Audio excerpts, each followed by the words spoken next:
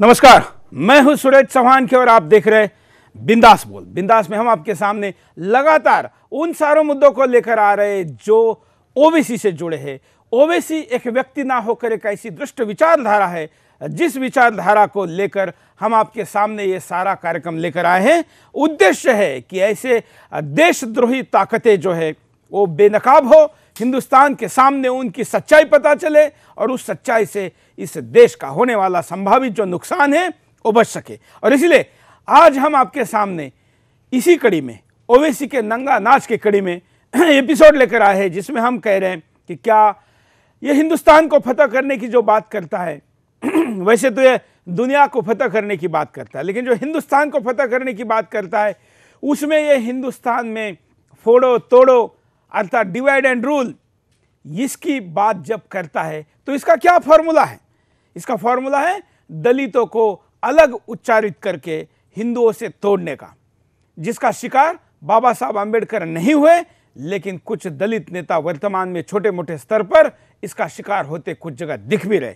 हालाँकि जिन दलित नेताओं का इसने उपयोग किया, उसको बाद में फेंक देने के भी ज़्यादा उदाहरण हैं, लेकिन फिर भी बदलते राजनीतिक माहौल में ये मुस्लिम दलित फॉर्मूले के साथ हिंदू में तोड़ो, फोड़ो, राज करो की नीति अपना रहा है। और ऐसे में इसने जिस प्रकार की नीति अपना कर इस पूरे कैंपेन को, अभियान को चलाया है, उसके बहुत ही घिनौने पहलू भी है। और वो घिनौने पहलू कुछ ऐसे हैं जो पहलुओं को हम सोच नहीं सकते, जिनके बारे में हम विचार नहीं कर सकते, जो हमारे दिमाग में कभी आ नहीं सकता। लेकिन ऐसी ऐसी बातें की जा रही हैं, जिन बातों को सुनकर हमारा आपका दिमाग तो खराब होगा ही। लेकिन हिंदुस्तानियों का दिल टूटेगा दिमाग खराब होगा और फिर ये चाहता है वो दंगे हो गए।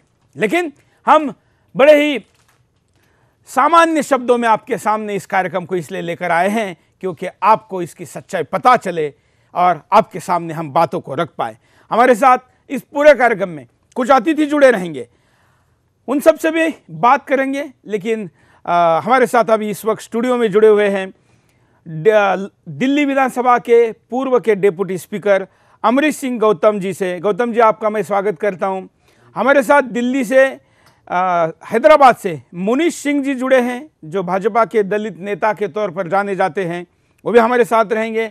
हमारे साथ वरिष्ठ पत्रकार भी जुड़े हुए हैं और भी कुछ नेता हमारे साथ जुड़ेंगे। उनको भी हम आपके सामने लेकर आएँगे। लेकिन मैं आपको एक ऐसा वीडियो दिखाने जा रहा हूँ। जिसकी कल्पना आप नहीं कर सकते। पहले उसको देखते हैं, उसके बाद अतिथियों के पास चलते हैं। और हमारे ये दलित नौजवान की तकरीर के बाद तो इंशाल्लाह मुझे लगता है कि इस इलाके में जितने बड़े की दुकानें कल से उनके सेल में इजाफा होंगे। आने देखिए आपके बीफ के ऊपर गाना बना दिए। हम बोले तो केस बुक कर देते। अब हमारा दलित भाई बोल रहा है कि हम फखर से कह रहे हैं कि हम बड़ा खाते। खाना चाहिए। गरीब क्या खाएँगा? गरीब के पास पैसे नहीं है। ना मुसलमान के पास पैसे है। कहाँ से बकरे का गोश्त खाएँगे दलित और मुसलमान? अगर गोश्त खाना है तो वही बड़े का खा सकते।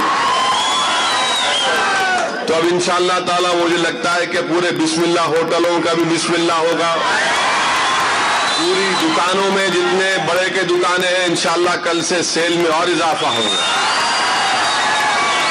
तो इसके लिए तमाम दुकान वालों को इनका शुक्रिया अदा करना है।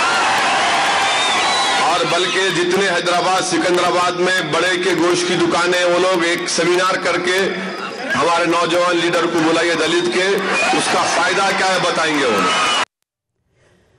मैं इसका बड़े का मतलब है गाय का मांस। और जो समस्त हिंदू या समस्त मानव जाति को मानने वाला व्यक्ति जो गाय के प्रति इतना सम्मान रखता है, ये बोल रहा है उस बीप पार्टी के बाद, जहाँ पर बीप पार्टी करने का एक ऐसा अट्टहास हुआ, जिसके द्वारा लोगों में एक ऐसी भावना उद्विग्ध भावना भड़काने का प्रयास किया गया उस बीप पार्टी को प्रमोट करते हुए अब हम केवल मुसलमान नहीं, बल्कि दलित भी कैसे बीफ अर्थात गाय का मांस खाते हैं, ये इसके भाषण का अर्थ है। इसके कई पहलू पर हम बात करेंगे। हमने आठ पहलू आज के कार्यक्रम के लिए दलित विभा, मत विभाजन को लेकर निकाले हैं, लेकिन ये मन विभाजन की भी बात करता है, आस्था और श्रद्धा के विभाजन की बात करता है। मैं चलता हूँ। हमारे साथ वरिष्ठ नेता है, कांग्रेस के डिप्टी स्पीकर दिल्ली में रह चुके हैं। अमृत जी इस इसके इस भाषण को सुनने के बाद आपकी पहली प्रतिक्रिया क्या है देखिए मैं तो इतना ही कहूँगा कि जिस तरह की लैंग्वेज ये ओवैसी जी बोल रहे हैं हाँ। उससे ये भारतीय भारत के समाज को बांटने की बात दर्शाते हैं हम तो ये चाहते हैं कि जो इस तरह की ये बांटने की बात कर रहे हैं इनको मैं ये बताना चाहूँगा कि बाबा साहब डॉक्टर भीमराव अंबेडकर जी ने हम्म। जब नवाब हैदराबादी ने अपने खजाने की चाबी उनकी तरफ़ सौंप दी थी हम्म। कि आप मुस्लिम बन जाइए हाँ। तो दलित जब नहीं बदले बाबा साहब अंबेडकर ने उनकी उस मांग को ठुकरा दिया उनकी उस ऑफ़र को ठुकरा दिया था हम्म। तो इसलिए बाबा साहब अंबेडकर के अनुयायी कभी भी इस तरह की बात को नहीं स्वीकार करेंगे वो भारत के समाज के साथ में हैं चाहे वो मुस्लिम हैं चाहे वो हिंदू हैं लेकिन वो बटने के लिए तैयार नहीं है। ऐसे लोगों की बातों में वो नहीं आएँगे। और मैं तो ओवैसी जैसे नेताओं से भी ये कहूँगा कि वो भारत के समाज को एकजुट रहने दें और वो किसी भी तरह की इस तरह की फूट डालने की कोशिश ना करें और सेकुलर लोगों को बटने ना दें। सेकुलर वोट को ना बटने दें वो राजनीति ना करें। हम्म। इस तरह की जो उनकी ये चाल है मैं समझता हूँ कि इसको भारत के लोग स्वीकार नहीं करेंगे चाहे वो हिंदू हैं चाहे मुस्लिम हैं चाहे सिख हैं ईसाई हैं बौद्ध हैं जैन हैं पारसी हैं कोई भी धर्म के लोग हैं। मेरे को यही कहना है कि भारत का समाज बिल्कुल नहीं बटेगा। बिल्कुल। वो देश की एकता अखंडता के साथ रहेगा समाज की एकता के साथ रहेगा। बिल्कुल। हमारे साथ अनिल नरेंद्र जी है वरिष्ठ पत्रकार है। आप इस कार्यक्रम को पहले भी देख चुके होंगे इसके बयानों को भी देख चुके होंगे गाय का मांस खाने के विषय को ये कैसे मंच से पूरा मसाला लगाकर लोगों के सामने परोस रहा था क्या है आपकी पहली प्रतिक्रिया देखिए सुरेश जी लोकतंत्र में हर हम्म। एक आदमी को अपनी बात कहने की हम्म। पूर्ण आज़ादी है पर बात कहने का मतलब ये नहीं है कि हम्म। आप इस तरीके के भड़काऊ भाषण दो जिससे कि विभाजित हो समाज हम्म। और दंगे भड़कने की गुंजाइश हो जाए हम्म। देखिए चिंता की विषय ये है कि कट्टरपंथी अल्पसंख्यक वर्ग जो है हम्म। वो इनको सपोर्ट कर रहा है ये पहले तो हैदराबाद सिटी तक ही थोड़े सीमित थे पर अब महाराष्ट्र के विधानसभा चुनाव में भी ये दो सीटें ले गए और तथाकथित हम्म। सेक्युलर सारे जितनी पार्टियाँ थी चाहे वो कांग्रेस थी हम्म। चाहे वो जेडीयू थी चाहे वो राष्ट्र उसकी अपना लालू जी की पार्टी थी हम्म। सब धरी की धराई रह गई तो ये एक डेंजरस फिनोमिना है देश के लिए इनका इस प्रकार बढ़ना बिल्कुल। हालाँकि मैं मैं अपनी बात स्पष्ट कर दूँ कि ये दो सीटें ले, बीस सीटें ले, ये मतलब कोई राजनीतिक दल ले तो उसकी चिंता करने का कारण नहीं। कई दल आते रहते हैं, बढ़ते रहते हैं, दूर होते हैं। जनता दल कभी सत्ता में था, केंद्र की आज कहा है पता नहीं।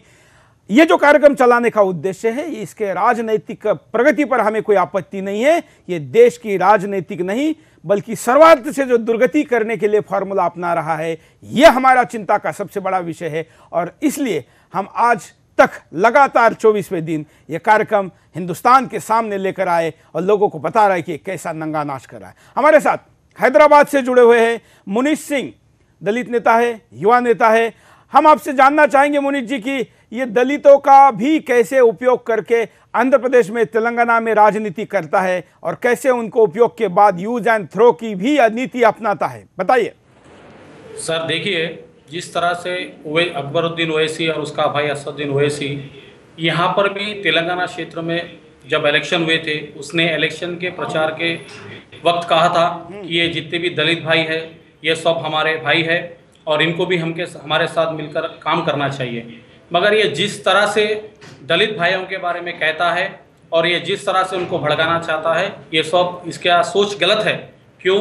ये जिस तरह से आज आंध्र प्रदेश के इसकी सीट है और अपने महाराष्ट्र में इसकी सीट है और ये पूरे हिंदुस्तान के अंदर ये जहाँ जहाँ पर भी अपने सीट से उम्मीदवार खड़ा करना चाहता है मैं हमारे वो दलित देना चाहता हूँ कि आप लोग इसके भड़काऊ भाषण में मत आइए। जिस तरह से बाला साहब अंबेडकर अंबेडकर जी ने इनको भी एक पैसे से खरीदना चाहता वो टाइम पे वो टाइम पे उन्होंने अपने अपने अपने राष्ट्र के बारे में सोच के उनको मुँह तोड़ जवाब दिया था। तो तो मैं दलित भाइयों से यही कहूँगा कि इसके भड़काऊ भाषण में ना आए। और ना ही उसके उसके ऊपर सोचे। और हमें सब एकजुट होकर आज आज लड़ने की स्थिति है। जिस तरह से ये कहता है कि हम हमारे दलित भाइयों को बीफ बीफ खिलाएँगे, खाना उसे ज़रूरी ये कहता है। मैं हमारे दलित भाइयों से पूछना चाहता हूँ कि आप लोग सोचिए, ये जिस तरह से हिंदुस्तान के अंदर हर क्षेत्र में अपनी पार्टी से उम्मीदवार खड़े करके जिस तरह से ये करना चाह रहा है, वहाँ पर दंगे फैलने के बहुत सारी उम्मीदें हो जाएगी। तो मैं हमारे दलित भाइयों से विनती करता हूँ कि आप लोग टूटे नहीं एक जगह बने रहे और हिंदू और हिंदुत्व का साथ दे। और मैं राज्य सरकार केंद्र सरकार सभी सरकारों से ये विनती करता हूँ कि जिस तरह से अपने नंगे अपने नंगे भाषण का नाच कर रहा है उसके ऊपर तुरंत एक्शन लेना चाहिए और उसको कड़ी से मैं आपके पास दोबारा आऊँगा। हमारे पास कमल बेनीवाल जी है दलित नेता है और काफ़ी राज्यों में इन्होंने इस विषय के लिए काम भी किया है। आप इस पूरे प्रकरण को देख रहे आपकी क्या प्रतिक्रिया है? हमारी जो प्रकृति प्रक्रिया है ये है सबसे पहले कि जो ऐसी समाज को बांटने की इन लोगों ने बात की है ओबीसी के साथ जोड़ने की। ओबीसी दलित ये पहले से ही कोई भाई भा, भाई भाई हैं कोई ऐसा कोई दूर नहीं हुए कभी भी। लेकिन इन लोगों ने जो अब की बार ये जो बात अलग बांटने की की है ये बहुत ज़्यादा गलत बात है। मैं आपको एक और वीडियो की- दिखाना चाहता हूँ उसके बाद मैं आपके पास आता हूँ। एक और वीडियो देखते हैं कि ये इसी मुद्दे को कैसे और अपनी अलग भाषा में रखता है देखिए। अगर इतने बहादुर थे तो उस्मानिया यूनिवर्सिटी में दलित नौजवानों ने कहा कि नहीं, हम अब हम बड़े का गोश्त खाएँगे। उस्मानिया यूनिवर्सिटी में तमाम दलित स्टूडेंट से कहा कि नहीं, अब हम छोटा नहीं खा सकते। अब हम बड़े को ही खाएँगे। हम माँ को ही खाएँगे। हम गाय को खाएँगे, हम भैंस को खाएँगे। ये दलित स्टूडेंट्स ने कहा वहाँ पर। और क्या कहा उन्होंने? उन्होंने कहा कि ये हमारे तहजीब का हिस्सा है। दलितों ने कहा कि ये हमारे तहजीब का हिस्सा है। हम इसको नहीं छोड़ सकते। आपको तकलीफ़ वहाँ नहीं हुई। पेट में बुड़बुड़े नहीं हुए, आपके लड्डू नहीं फूटे वहाँ पर जाना था। जाके दलितों से मुकाबला करना था। दलित नौजवानों के लोगों ने मुझसे रब पैदा किया। हमेशा खाते आए और खाते रहेंगे। और ये फेस्टिवल होने के बाद हमारे पास रोज फेस्टिवल होती है बिस्मिल्ला होटल में। हमारे हर महल्ले जात में बड़ा लटकावा होता है, कभी ज़रूरत पड़ी तो हमारे पास आओ। ये फ्रेश मिलता है हमारे पास।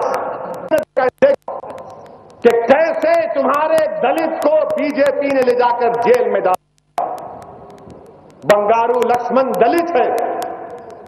माडिगा कम्युनिटी से उनका ताल्लुक है। आलाजाद के लोगों ने 60 साल में हिंदुस्तान को इतना खाया इतना खाया कि खा खा कर मर गए। मगर कभी जेल में नहीं गए और एक दलित सिर्फ़ एक लाख रुपए के लिए जेल में चले गए मैं दलित भाइयों को दावत फ़िक्र देना चाहता हूँ कि जिस जमात में तुम हो, वो जमात आलाजाद ब्राह्मणों की जमात है। हमारे साथ बीजेपी के सुरेश राठौड़ जी दलित नेता जुड़ गए हैं। दलितों को गाय का घोष खाने की, मांस खाने की बात ये किस तरीके से करता है और कैसे ये बीप फेस्टिवल को बढ़ावा देता है, यह शब्द सुनने के बाद आप क्या कर रहे सत्ताधारी पार्टी के नेता होते हुए भी। देखिए जो दलित शब्द का इस्तेमाल ओबीसी महोदय कर रहे हैं क्या कभी आपने सुना है कि कोई दलित जो अपने आप को हिंदू ना कहता हो? कोई दलित ऐसा मिलेगा जो गाय का मीट खाना पसंद करता हो या उसके नज़दीक जाना पसंद करता हो? ये केवल दलित समाज में एक विद्रोह फैलाने की स्थिति वो पैदा करना चाहते हैं। हम इसका कठोर विरोध करते हैं। दलित आज जिस स्थान पर खड़ा है वो आज पढ़ने में लिखने में सबसे आगे है। कहीं कोई कमी इस प्रकार की नहीं है। आज दलित समाज के साथ में जो ओबीसी इस तरह के बयान देकर उनके बीच में फूट डालने का काम करना चाहते हैं या सरकार में विद्रोह करने का काम करना चाहते हैं हम इस मंच के माध्यम से उनका घोर विरोध करते हैं। अनिल जी। निंदा करते हैं। अनिल जी आप कई प्रकार के राजनेताओं को देखते होंगे जो अपने राजनीतिक स्वार्थ के पूर्ति के लिए न जाने कितनी गंद फैलाते भी होंगे और खाते भी होंगे और हजम भी करते होंगे। लेकिन इतने निचले स्तर की जिसके निंदा के शब्द भारत के किसी भाषा में नहीं है ऐसे व्यक्ति की निंदा एज अ पत्रकार आखिर कैसे करेंगे? बड़ी शर्म की बात है और उससे भी ज़्यादा शर्म की बात है कि असदुद्दीन ओवैसी पढ़े लिखे हैं। Barrister barrister at law from London है। तो इनको तो कम से कम सोचना चाहिए कि ये क्या बोल रहे हैं। मैं एक हट के बात कहना चाहता हूँ सुरेश जी। कल को कोई हिंदू नेता खड़ा हो जाए। और वो कहे कि इनके यहाँ भी प्रतिबंध है एक जानवर। मैं हाँ, नाम सुअर लेना का, चाहता। सुअर का उसमें क्या है? जब वो गाय का ले रहा है तो, तो बोलने में अगर उसको काट के खाने की आह्वान वो कर दे तो फिर क्या होगा? ये कहाँ बहुत पहुंचेगी? इस इस बिल्कुल बहुत गलत बात है। और दुर्भाग्य से वहाँ की सरकार जो है वो अल्पसंख्यक परस्त है। और कुछ नहीं कर रही और केंद्र सरकार को भी इसमें हस्तक्षेप करना चाहिए। इसके छोटे भाई पे तो शायद केस चल भी रहा है पर ये इस नहीं वो कुछ क्या केस नहीं वो तो ड्रामा था। बस वो कुछ दिन के लिए अंदर भेजा दस हज़ार रुपए के जमानत पे बाहर भेज दिया ड्रामा खत्म हो गया। आगे कुछ नहीं है। फिर वही भाषण चालू है और वही भाषण महाराष्ट्र में दे रहा और इसीलिए यह कार्यक्रम हम आपके सामने लेकर आए हैं। नहीं बिल्कुल इसको बिल्कुल बड़ी स्ट्रांगली कंडेम करना चाहिए और इसके स्ट्रांग एक्शन होना चाहिए। और मैं समझता हूँ कि मुस्लिम्स में भी ऐसे वर्ग है। देवबंद जैसे हैं जो पढ़े लिखे सभ्य लोग हैं वो कभी इन बातों को नहीं सपोर्ट करते। वो इसका अपोज करते हैं। उनको भी आगे आना चाहिए ताकि ये कट्टरपंथी जो एक्सट्रीमिस्ट्स हैं इन पर कंट्रोल लगे ताकि ये बात आगे ना ज़्यादा जा सके और यहीं पर ही बंद होनी चाहिए। तो मेरा ख्याल है कि भाई गवर्नमेंट ऑफ़ इंडिया और तेलंगाना सरकार से भी मैं अपील करूँगा कि निजी स्वार्थ से ऊपर उठ के देश हित की हालाँकि बारे तेलंगाना सरकार कुछ सोचेगी ऐसा नहीं लगता है। जिस मुख्यमंत्री की बेटी देशद्रोह का बयान देती है उस मुख्यमंत्री से क्या अपेक्षा की जाए? लेकिन फिर भी आप मीडिया में हम मीडिया में हम लोगों का काम है इस विषय पर बोलते रहना लोगों को बात पहुंचाना और मांग करते रहना वो अपन करते रहेंगे। मैं अमृत जी के पास जाऊँगा। अमृत जी कितना भी विवाद समाज में क्यों ना हो जाए? गाय भगवान ऐसे आस्था के विषय का कभी उपयोग नहीं किया जाता खास करके उसको ठेस पहुँचाने का उपयोग नहीं किया जा सकता। तो ये करने की ये पर, ये प्रक्रिया या जो भी परंपरा कहे इसने जो लाई है ये हिंदुस्तान की तो नहीं कही जा सकती। देखिए सच्चाई है जितनी भी कठोर शब्दों में निंदा की जाए उनके इस बयान की वो कम है। और मैं तो ये कहना चाहूँगा कि ऐसे आदमी को कठोर से कठोर सजा देनी चाहिए और मीडिया को इसका ऐसा ज़्यादा प्रचार भी नहीं करना चाहिए। और उन ताकतों को भी बेनकाब करने कुछ की मीडिया वाले आवश्यकता तो इसका महिमा मंडन करे हाँ, हमने जब से इसके खिलाफ कार्यक्रम चालू किया है समाज के हित में नहीं है ये बातें। किसी का महिमा मंडन करना उसको जो है ज़्यादा से ज़्यादा पब्लिसिटी देना ये सस्ती लोकप्रियता हासिल करने के लिए भी जो नई पार्टी बनाते हैं उनके लीडर इस तरह की सस्ती लोकप्रियता उन्हें हासिल हो जाए उसको वो ज़्यादातर उस तरह के नई पार्टी नहीं है करते ये आज़ादी की पहले की पार्टी है निज़ाम की पार्टी आपको याद होगा इसके नेता ने सरदार वल्लभ भाई पटेल को दम दिया था कि अगर हैदराबाद के खिलाफ कार्रवाई की सोचोगे तो वहाँ पर सवा करोड़ हिंदुओं का कत्ल किया जाएगा। ये ये मैंने तो इस तरह की बातें करने वालों उनको पहले से लगाम लगानी चाहिए और इसका प्रशासन को कार्रवाई करनी चाहिए कानूनन कार्रवाई करनी चाहिए। लेकिन इस तरह की बातों को अगर हम प्रचारित करेंगे तो समाज में गलत धारणा पैदा होगी। और समाज को उस तरह का कुछ परसेंट लोग फिर भी ऐसे होते हैं जो उधर बहक जाएँ। तो उन लोगों को लेकिन वो ना बहके इसीलिए- उसको बहकने से रोकने के लिए समाज में और तरह से जागृति लाने की आवश्यकता है। और मैं समझता हूँ कि आज दलित समाज जो पढ़ लिख करके वो अच्छी तरह से सोच रहा है और बाबा साहब डॉक्टर अंबेडकर के मिशन को ही नहीं वो बापू गांधी के मिशन को भी समझ करके देश और समाज के हित में काम करता है। और मैं समझता हूँ कि इस तरह की जो हरकतें लोग कर रहे हैं ये कहीं ना कहीं विदेशी ताकतों से उनको धन मिल रहा है और मैं समझता हूँ कि कुछ सियासती पार्टियाँ हमारे देश की भी उसको बढ़ावा देने की कोशिश कर रही हैं क्योंकि वो अपना मंसूबा पालने के लिए अपने हित को साधने के लिए ऐसे नेताओं को बढ़ावा देती हैं हर तरह का बढ़ावा देती हैं हर तरह की उनकी मदद करती हैं ऐसा मुझे कहने में कोई गुरेज नहीं है। तो इस तरह की ताकतों को भी देखना चाहिए और उनको भी बेनकाब करने की आवश्यकता है और मैं समझता हूँ कि भारतीय समाज पर हमें गर्व है भारतीय समाज चाहे वो किसी भी बिरादरी का है चाहे किसी भी धर्म का है ऐसे लोगों की कहने में नहीं आएगा और ना भटकेगा और ना बदलेगा। वो बिल्कुल देश के संविधान के प्रति आस्था रखते हुए देश हित में काम करेगा देश की एकता के लिए काम करेगा और समाज की एकता के लिए काम करेगा समाज में समरसता लाने का काम करेगा। ऐसा मेरा मानना है। बिल्कुल। मैं आपको इसका एक और वीडियो दिखाता हूँ, लेकिन उसके पहले हम एक छोटा सा ब्रेक लेते हैं। हमारे पास आज इसका आठ ऐसे वीडियो है जो दलित राजनीति के लिए ये किस हद तक गिर सकता है, ये दिखाता है। रुकते एक छोटे से ब्रेक के लिए। ब्रेक के बाद दोबारा आएँगे। ओबीसी के नंगा नाच की बिंदास बोल की सीरीज़ जारी है।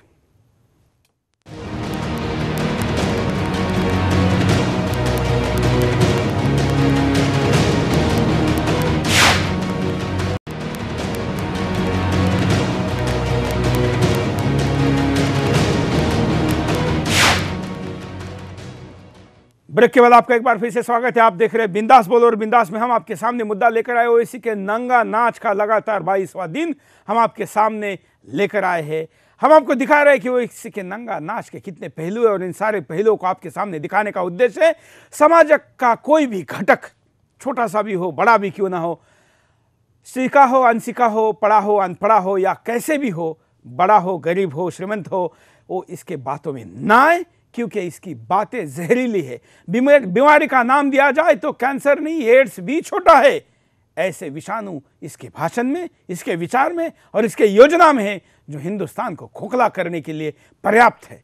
इसके ऊपर आरोप लगते हैं कि कई विदेशी शक्तियों के साथ मिलकर यह हिंदुस्तान को तबाह और फतह करने की बात करता है और इसका यह सारा फॉर्मूला बेस है भारत में बहुसंख्यक हिंदू समाज को दो फाड़ करने में। फोड़ो और राजनीति करो की जो नीति है, इसको अपनाते हुए। अब इसने दलितों को साथ लेकर चलने का प्रयास किया है। हालाँकि इसके बाप ने भी किया, लेकिन उसमें वो सक्सेस नहीं हो पाया।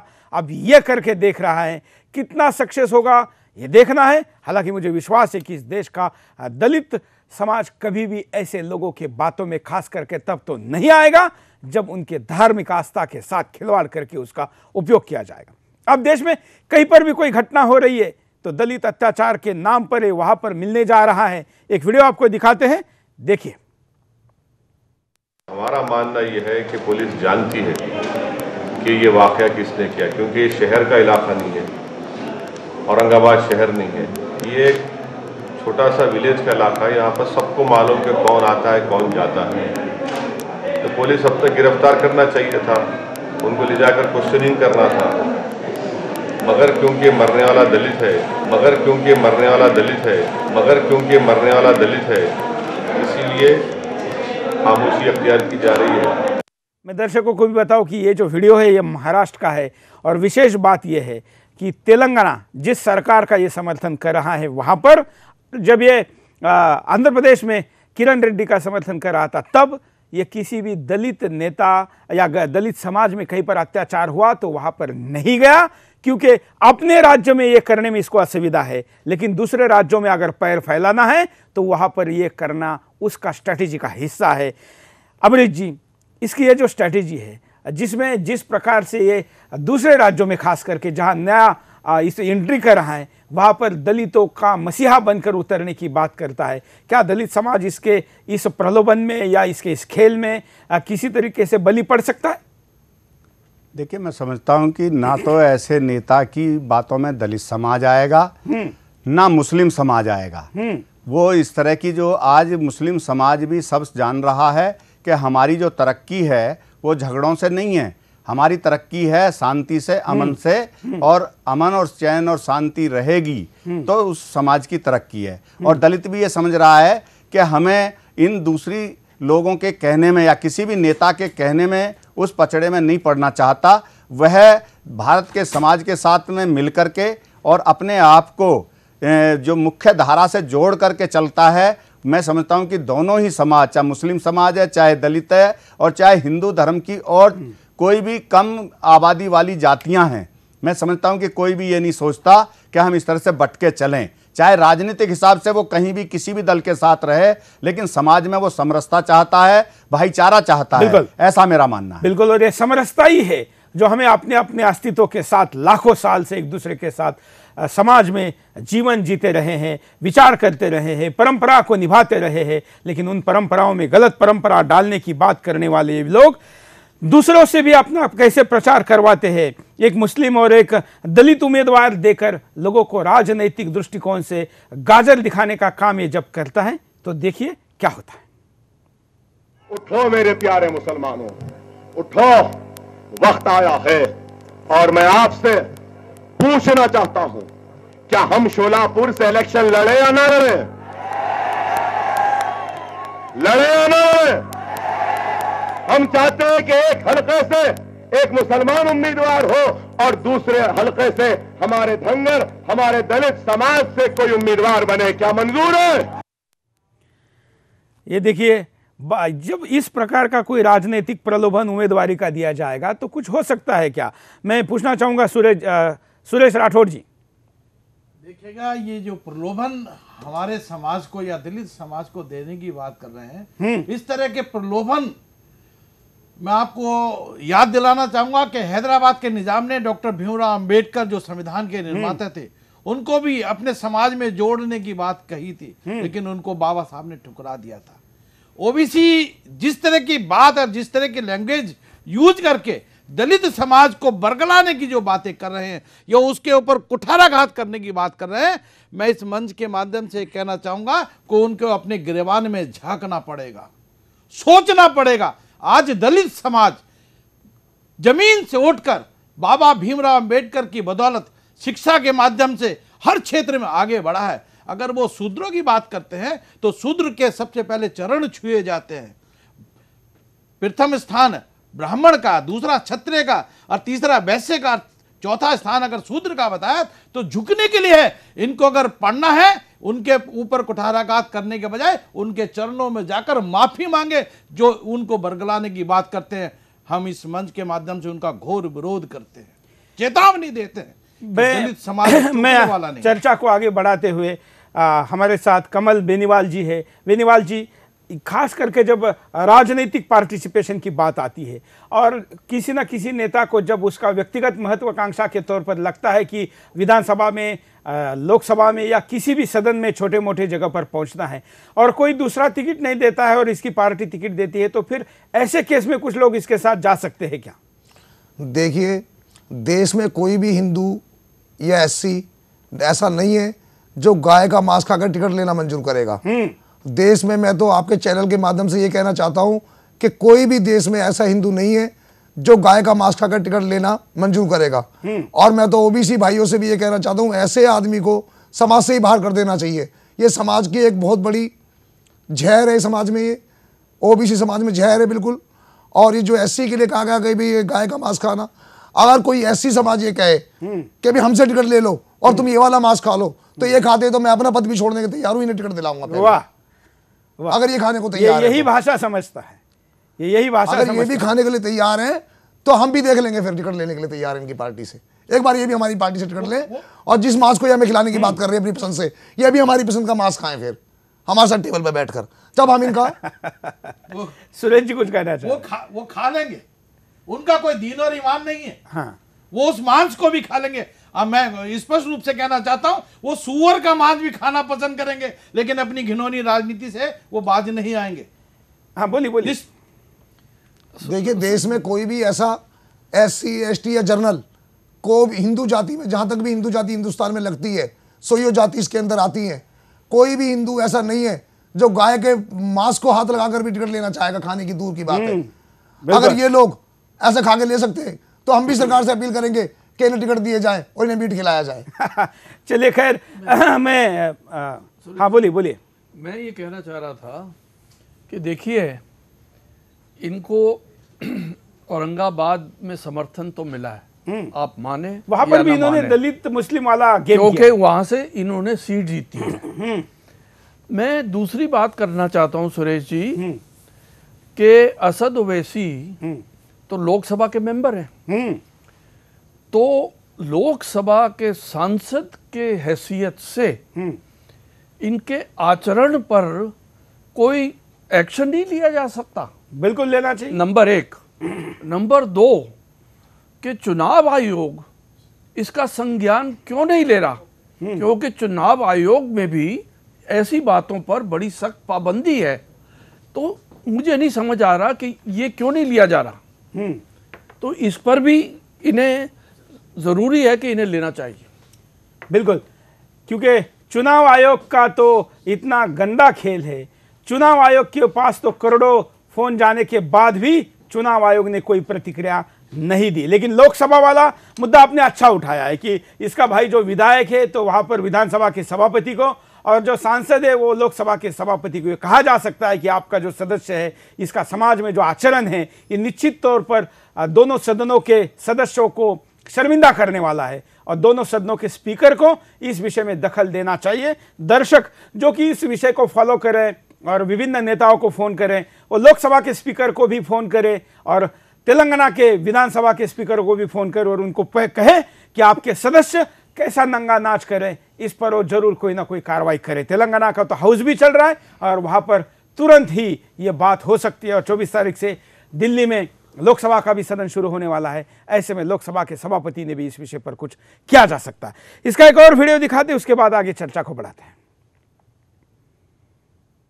गुलबर्गा में आज पूरे अवाम असादुद्दीन भाई और अकबरुद्दीन भाई को बुलाने के लिए मुझे भेजे हैं कि एक दलित के नाते, एक दलित के नाते और शेड्यूल्ड कास्ट के नाते मैं गुजारिश कर रहा हूँ कि असाद भाई से 25 करोड़ 25 करोड़ हिंदुस्तान में मुसलमान हैं, मुसलमान लोग हैं, लेकिन 28 करोड़ दलित लोग हैं। तो ये ये 25 करोड़ और 28 करोड़ दलित एक हो गए तो ये हिंदुस्तान हम कब्जा कर सकते हैं बोल के गुजारिश कर रहा हूँ। आज हमें असादुद्दीन भाई और हम लोगों ने एम हिंदुस्तान में कम से कम 50 सीट लाने का कोशिश करना है। पूरे दलित और मुसलमान एक जुट होके आज हिंदुस्तान में लड़ना है। तो देखिए ये क्या बोल रहा है? और ये यही फॉर्मूला है जो मैं कह रहा था आ, अनिल जी अनिल नरेंद्र आप पूछ रहे थे। ये इसका फॉर्मूला है और एक दलित नेता है जो दलित नेता के मुँह से ये बातें कहलवा रहा है। 25 करोड़ की बात तो ये करता है 28 करोड़ कहने वाला भी कोई पगला ढूंढ के लाया है और अपने स्टेज से बुलवा रहा है। बिल्कुल सही कह रहे हैं आप। और अ, मैं आपको बधाई भी देना चाहता हूँ इस बात के लिए।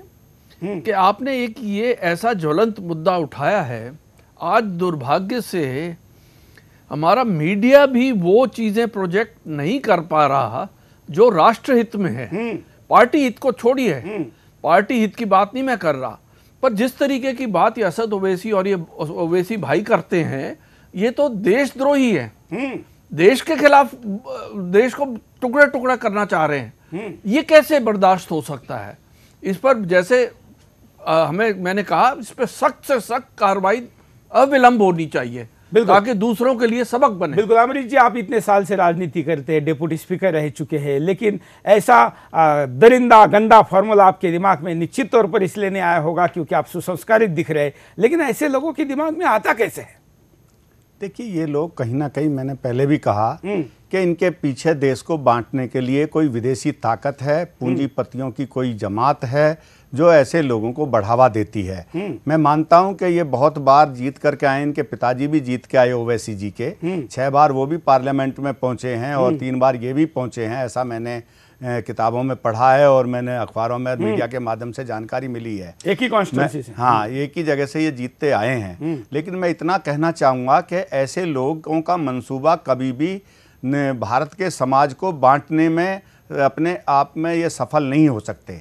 ये किसी भी ना एक धर्म के लोगों को बांट सकते हैं ना किसी एक बिरादरी के लोगों को बांट सकते हैं। क्योंकि लोगों की आस्था भारत की एकता से जुड़ी है भारत की संप्रभुता से जुड़ी है भारत के संविधान से जुड़ी है भारत के लोकतंत्र से जुड़ी है। लेकिन मैं इतना ज़रूर कहूँगा कि ऐसे लोगों को बढ़ावा नहीं देना चाहिए मीडिया जो ये दिखा रहा है, इससे समाज को जागृत करने के लिए दिखा रहा है। मैं कोई मीडिया की बुराई नहीं कर रहा, लेकिन ऐसे लोगों की पूरी भाषा को समझ करके निश्चित रूप से, क्योंकि ये लोग सस्ती लोकप्रियता हासिल करने के लिए इस तरह की भाषा का इस्तेमाल करते हैं। और भारत के चुनाव आयोग को भी चाहिए कि ऐसे लोगों की पार्टी को, जिस तरह से कई बार समय समय पर विभिन्न संगठनों पर भी बैन लगा है। ऐसे ऐसी पार्टियों पे बैन लगाना बैन चाहिए, लगना चाहिए। इन पार्टियों को बिल्कुल लोकतंत्र से बाहर करना चाहिए आपके और इन लोगों आपके को जानकारी हिरासत के में लिए लेकर कि के इन इसके- पे इसके मुकदमा पार्टी चलाया जाना पहले- चाहिए और इन्हें जेल के शिक्षों से बाहर नहीं निकलने देना चाहिए। इसके पार्टी इतना कहना चाहूँगा। बिल्कुल, ये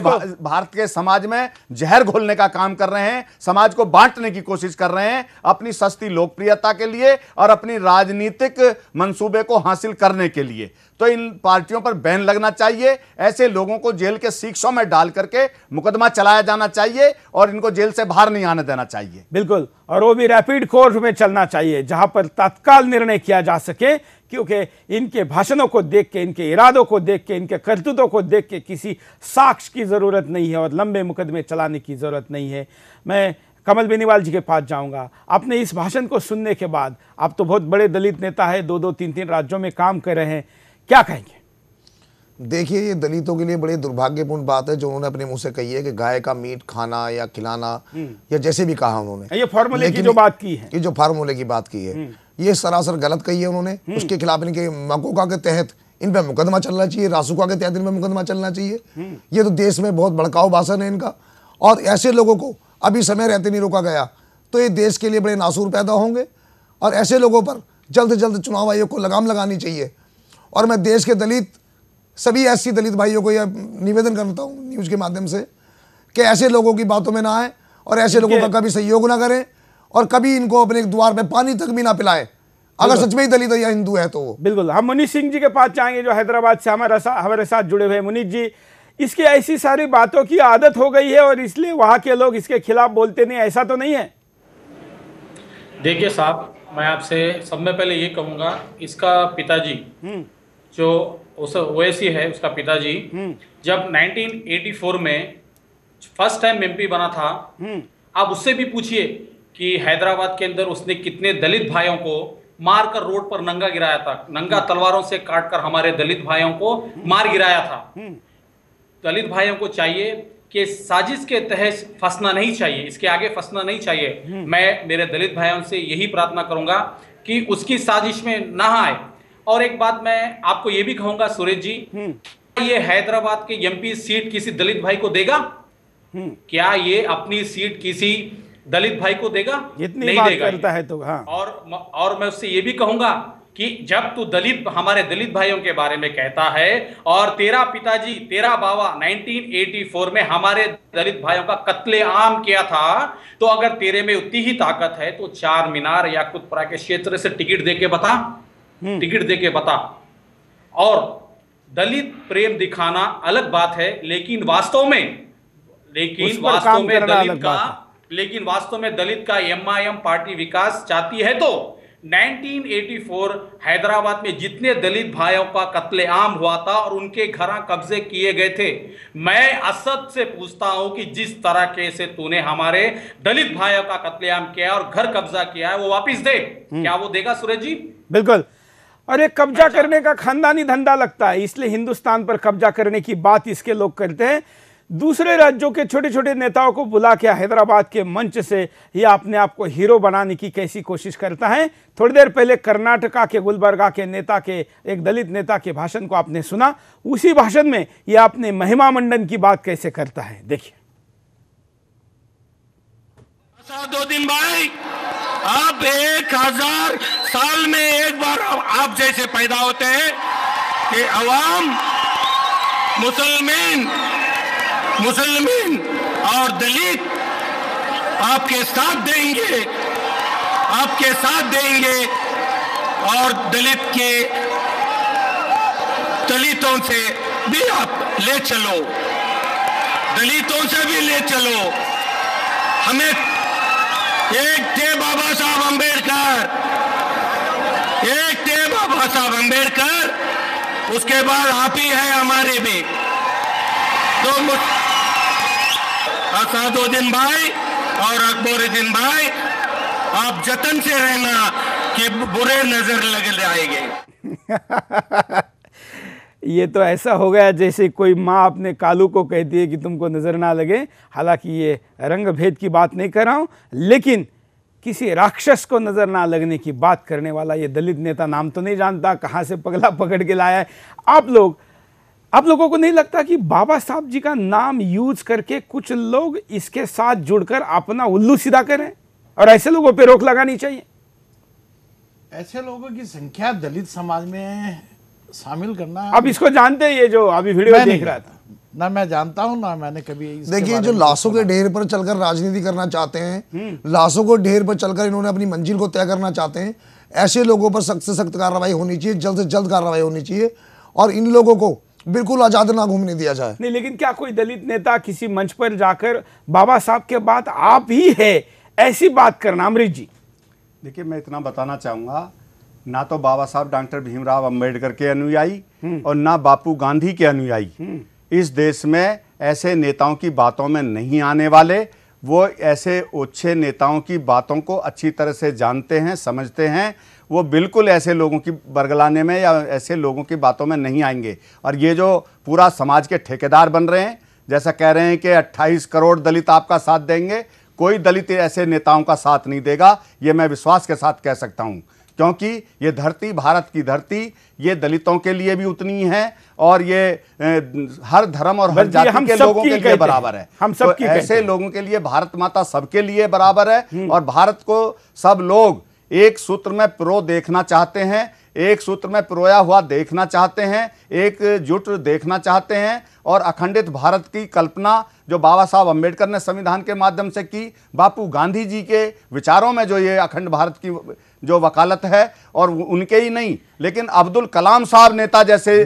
भी इस देश के नेता रहे हैं नाम जो पाकिस्तान नहीं गए और वो हिंदुस्तान में रह करके उन्होंने देश की मजबूती के लिए काम किया हम ऐसे नेताओं को सलाम करते हैं सल्यूट करते हैं। और हम उनके पद चिन्हों पर चल करके भारत के समाज की एकता देखना चाहते हैं भारत के समाज को हर वर्ग। को बढ़ता हुआ देखना चाहते हैं अनिल जी ये पाकिस्तान जाने के लिए कहता है कि जा, जाएँगे नहीं लेकिन जाएँगे तो ताजमहल लेके जाएँगे कुतुब मिनार लेके जाएँगे लाल किला लेके जाएँगे ये लूट की जो वंशवत इनकी परंपरा है ये चीज़ें लेके जाने की बात करता है और एक तरफ़ दलितों की बात करता है दोनों बातें एक साथ कैसे हो सकती हैं? देखिए ये मुझे नहीं पता ये मुगल वंश से संबंध रखता है जो जो लूट खसोट की बात करता है। हाँ।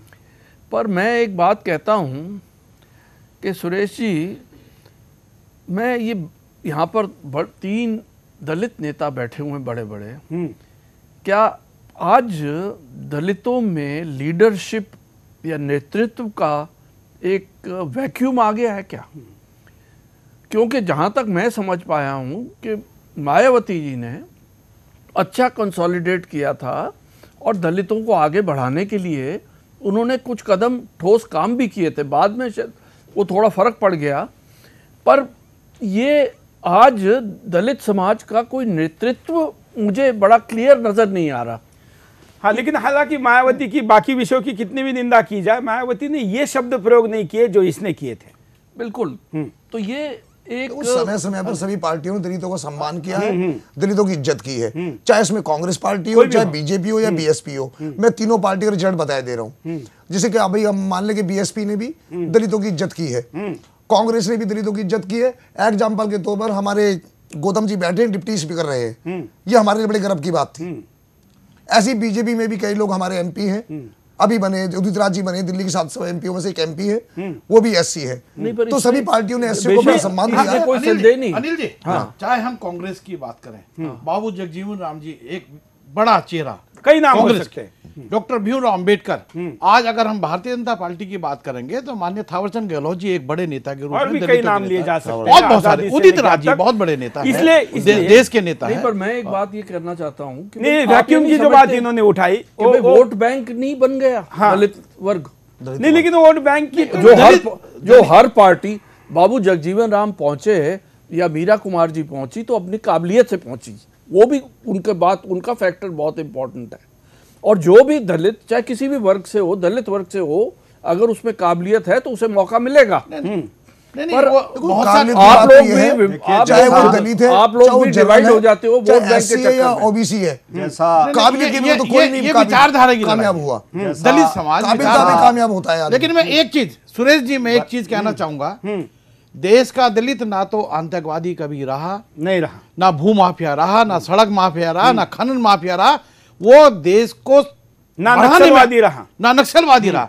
देश के दलित का विश्वास इस देश के संविधान में रहा और संविधान के प्रति वो अपने आप को समर्पित रखता है। बिल्कुल। वो अपने देश के बिल्कुल। प्रेम रखता है उस तिरंगे के प्रति प्रेम रखता है। गरीबी के आधार पर इसलिए गरीबी के आधार पर आतंकवाद की बात करना या नक्सलवाद की बात की थ्योरी जो कम्युनिस्ट लोग रखते हैं वो गलत है। दलित समाज से सबसे ज़्यादा गरीब वर्ग होते हुए भी किसी ने देश के खिलाफ संविधान के खिलाफ कभी यहाँ की आस्था के खिलाफ बात नहीं की। यही परंपरा को छेद देते हुए वो इसमें विष फैलाना चाहता है। आंध्र प्रदेश में ये मुसलमानों की बात कैसे करता है? देखिए।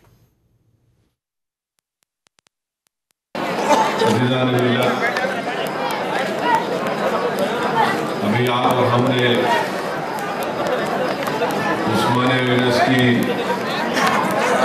दलित स्टूडेंट के सदर के जज्बात को सुना।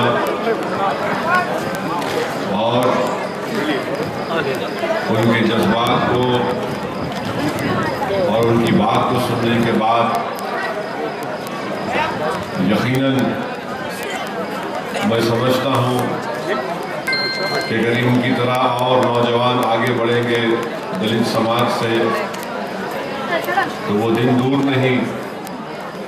जब आंध्र प्रदेश में भी, जिस तरह उत्तर प्रदेश में मायावती ने सबसे कमज़ोर समाज के सबसे कमज़ोर लोगों को ताकत बख्शी तो उत्तर प्रदेश रियासत में तो लंबा लंबा भाषण है। हम इसके बाद पॉलिटिकल बात को रखने के बजाय, हम इसके मुद्दों के आधार पर आते हैं कि अपने भाषणों में कुछ कुछ जगह पर दलितों की बात कैसे करा है और कैसे दलितों के बात के साथ ये आगे बढ़ाता है? मैं इसका एक और आखिरी बाइट आज के कार्यक्रम की दिखाता हूँ। क्या कहता है?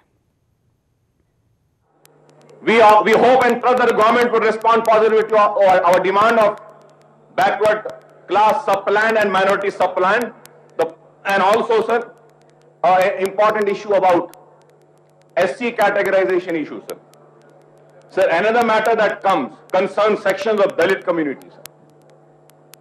In the state is the issue of ABCD categorizations. That has been hanging fire for almost 15 years, sir.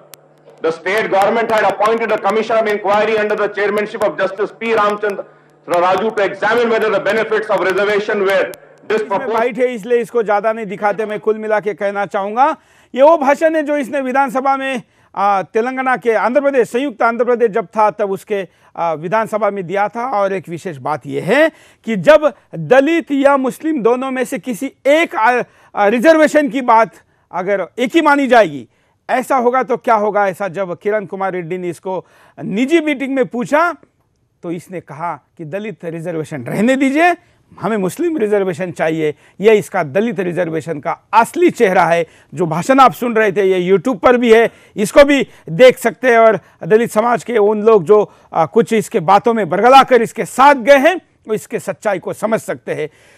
इस वीडियो को देखने के बाद मैं चारों के पास आपके पास जाना चाहूँगा।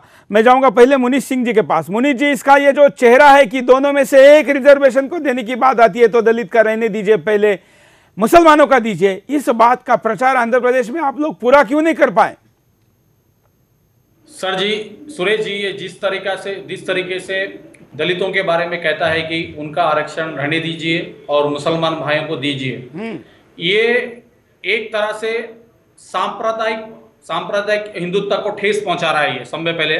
मैं हमारे दलित भाइयों से प्रार्थना करूँगा कि जिस तरीके से ये हमारे दलित भाइयों के बारे में कहता है तो मैं खास तौर पे आपसे सुरेश जी ये कहना चाहूँगा कि ये कार्यक्रम शायद मायावती जी देखती होगी या नहीं होगी देख रही और उत्तर प्रदेश हाँ जी तो मैं हमारे सभी दलित भाइयों से जहाँ जहाँ पर स्थित है ऑल इंडिया लेवल में जैसे कि उत्तर प्रदेश दिल्ली छत्तीसगढ़ राजस्थान हमने देश के तमाम नेताओं को कार्यक्रम देखने को कहा है। नेता देख भी रहे लेकिन अनिल जी देश के राजनेता इसके खिलाफ बोलने से क्यों डरते हैं?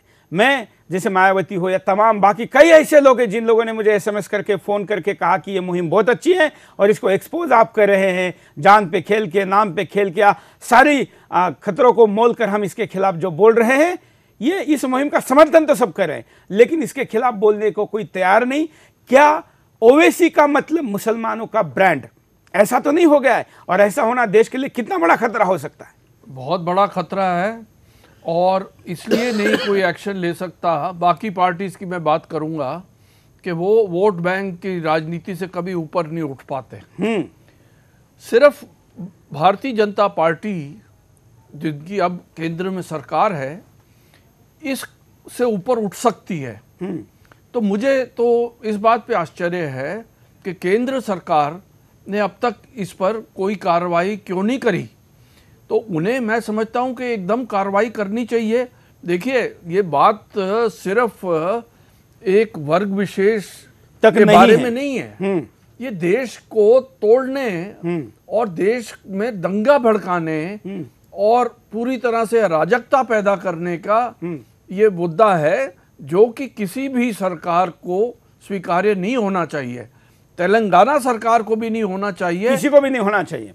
लेकिन दुर्भाग्य, में कार्यक्रम के आखिर में एक पहलू पर मेरा मेरा दृष्टिकोण क्या है? मैं, मुझे क्या लगता है कि क्यों बोल रहा है? क्योंकि मैं 22 तेईस कार्यक्रम करते करते इसके जहन तक जाना जो बोल रहे हैं ना, इसके बारे में मेरा वो हो चुका है कि ये ऐसी हरकत क्यों करता है, क्यों कर सकता है? इसका मुझे पूरा अनुमान है।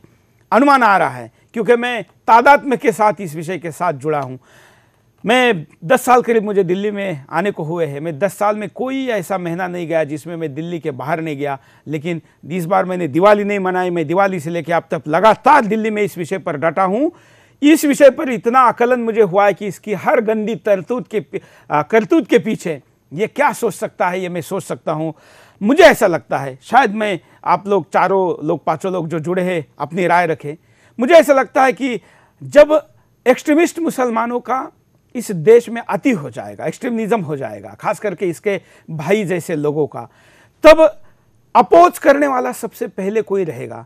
तो दलित समाज का रहेगा, ऐसा मेरा अनुमान है, क्योंकि जान पर खेलकर संघर्ष करने की भावना इस समाज में सबसे ज़्यादा होती है। क्या इसलिए? डर के भी। कैलकुलेशन तो है 28 करोड़ और 25 करोड़ का, लेकिन अपने आप को बचाने के लिए भी इस समाज के बारे में ये ऐसा अप्रोच रख रहा है। ये कारण है क्या? मैं बात करूँगा सुरेश जी से शुरू। पाँच सेकंड में अपनी बात को कहिए। देखिए केवल आतंकवाद फैलाने की दृष्टि से जिस प्रकार के वक्तव्य नहीं ये बचने के लिए। इसके खिलाफ अगर खड़ा कोई हो सकता है तो दलित समाज से हो सकता है। नहीं दलित समाज तो इसका विरोध करेगा। और इसके लिए खड़े हैं डट के खड़े हैं। इसको जवाब देंगे। हर पहलू में जवाब देंगे चुनाव में भी जवाब देंगे। आज तक इन्होंने जो दलित के विरोध में ये प्रश्न उठाए हैं पूरा देश का दलित जाग गया इसकी चाल को कमल जी कमल जी गया इसका दलितों का बात करने का कारण उनसे अपने आप को बचाना यह है क्या? ये मैं कह रहा हूँ। देखो ये दलितों की जो राजनीति कर रहे हैं दलितों के वोट बैंक के लिए कर रहे हैं। और ये बड़े शर्मनाक की बात है कि दलितों को साथ में गाय खाने के गाय के मांस खाने के लिए भी कह रहे हैं और दलितों को अपना भाई भी मान रहे हैं। अगर दलित भी ने अपना भाई मान ले तो क्या सुअर का गोश्त खा लेंगे ये? अगर खा लेते तो ठीक है हम भी गाय के लिए चलो तैयार हो जाते किसी कारण से। लेकिन अगर ये ऐसा, ऐसा नहीं कहना नहीं, नहीं, मैं, मैं, मैं, मैं इससे सहमत हमारे में हाँ, हाँ, मैं बेनीवाल जी की बात से सहमत हमारे में हाथ लगाना भी जुर्म होता है। हाँ, नहीं तो गाय के गोश्त को हाथ लगाना जुर्म होता है। वो हमें खाने के लिए कह रहा है। हम एक टिकट के लालच में जो हमारे दलित भाई इस प्रोग्राम को देख रहे हैं वो टिकट के लालच में आकर इसकी पार्टी में ना जाए और जहाँ जहाँ इनके प्रोग्राम हो रहे हैं वहाँ हमारे दलित समाज पहुँचे दलित समाज के नेता पहुँचे और इसका विरोध करें और घर घर जाकर दलित भाइयों को समझाएँ कि ऐसी पार्टी का ऐसे नेता का विरोध करें। हम हम जो विरोध कर रहे कार्यक्रम के हम जो विरोध कर रहे हैं मुस्लिम जाति का नहीं कर रहे अमृत जी का जी। समय कमी है अमृत जी। देखिए मैं जो चीज़ें जो चर्चा आज निकल करके आई है उसका अंत में क्या मैं उसमें इतना ही कहूँगा कि मैं दलित समाज से भी कहूँगा कि ऐसे नेताओं की बातों में वो ना आए और मुस्लिम भाइयों से भी कहूँगा कि इससे हर धर्म का हर जाति के लोगों का हिरास होगा उनकी उन्नति अवनति की तरफ़ जाएगी। इसलिए ऐसे नेताओं की चाल में नहीं आना नहीं, चाहिए। और समाज के साथ में रहना चाहिए और पूरी तरह से अपनी उन्नति की दिखाते हुए उन्नति की तरफ़ बढ़ने के लिए। समाज में समरसता लाने की बात करनी चाहिए भाईचारे की बात करनी चाहिए। मैं सुरेश जी दलित समाज का आभार प्रकट करना चाहता हूँ कि अगर हिंदू समाज को बचाया है किसी ने सही मायने में तो दलित समाज ने बचाया है। और आज भी एक अवसर आया है जबकि दलित समाज से हम अपेक्षा करते हैं कि वो ना केवल इन्हें रिजेक्ट करेंगे इन्हें पूरी तरह से नकारेंगे बल्कि हिंदू समाज को फिर से जो भी खतरा है उसको बिल्कुल। मिटाने में दर्शकों को एक खुशी की बात बता रहा हूँ क्योंकि लाइव कार्यक्रम चल रहा है। मुझे एक दलित नेता ने एसएमएस किया है दिल्ली से एसएमएस से इसमें कहा है कि आ, ये दिल्ली में रैली करके दिखाए। ये जिस भी रैली में इसका जो भी व्यक्ति जाएगा उसके सामने हम दलितों को बदनाम करने की कोशिश के तौर पर इसने जो गाय की बात कही है इसके बैनर और होल्डिंग हम लेकर जाएँगे और इसकी बात के स्पष्टीकरण के बगैर ये दिल्ली में कोई रैली नहीं कर पाएगा। ये मुझे लाइव में अभी एक दर्शक ने व्यक्तिगत जो मेरा परिचित है, ऐसे एक दलित नेता ने मैसेज किया। मैं आशा करता हूँ कि हमारा कार्यक्रम लोगों तक पहुँच रहा है और लोग इसमें सहभागी हो रहे हैं। हम लगातार इस कार्यक्रम को आपके सामने लाइव लेके आते हैं। रात को आठ से नौ, इसका रिपीट होता है। रात को ग्यारह बजे, रात को एक बजे और दूसरे दिन सवेरे नौ बजे इस कार्यक्रम को आप कभी भी देख सकते हैं हमारे यूट्यूब चैनल पर, हमारी वेबसाइट पर और हमारे फेसबुक पर। हमारे फेसबुक पर अब इसको दो करोड़ से ज़्यादा लोगों ने इस विषय पर चर्चा में सहभागी लिया है और ये संख्या और भी तेज़ी से आगे बढ़ रही है। मैं आपको फिर याद दिला दूँ कि मुहिम रुक नहीं रही है। हम विभिन्न पहलू के साथ इसके जितने डायमेंशन हो सकते हैं, वो सारे लेके आपके सामने रोज आ रहे हैं। कल फिर आएँगे नए मुद्दे के साथ। आज सारे अतिथियों ने जितने लोगों ने पाँचों अतिथि हमारे साथ लाइव में जुड़े रहे उन सबका मैं आभारी हूँ कि आपने समय निकाला और इस विषय के साथ समय निकालने से भी बड़ी बात कि आपने सहमति जताई। आपके आभार के साथ दर्शकों के आभार के साथ सबको जय हिंद।